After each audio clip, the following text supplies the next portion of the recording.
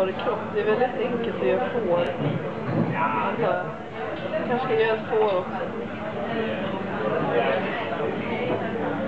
Fårkanin.